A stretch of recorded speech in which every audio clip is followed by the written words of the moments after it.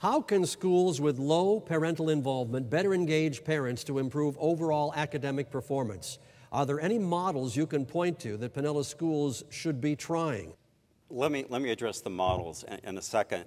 I think the first thing we have to do is when a parent comes through that school door, somebody has to get up, welcome them into the school, tell them what is going on, tell them what they can do to help their son or daughter, perhaps set up some classes in the school or in the community centers where they can learn to help their child with their homework.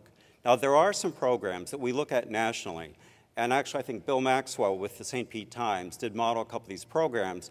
One that you, a lot of you probably know is the Harlem Project in, in Harlem, where you start actually before school, pre-K people, and if they are accepted, it's unfortunately a lottery program, they go all the way through K through 12, and this year, every single child has gone on to college. The same thing with Chicago Prep in Chicago.